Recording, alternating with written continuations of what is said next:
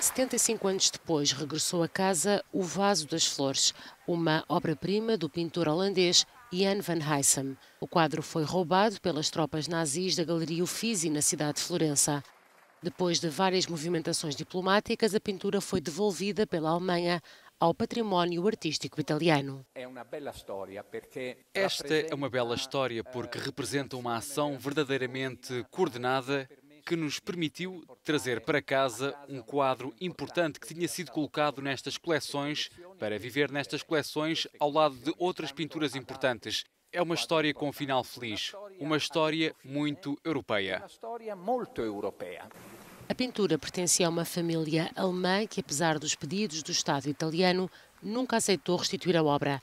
Ao mesmo tempo, as autoridades de Berlim recorriam a uma lei de limitação de crimes com mais de 30 anos. Os detalhes sobre o acordo alcançado na Alemanha não foram divulgados. A cerimónia de devolução aconteceu esta sexta-feira.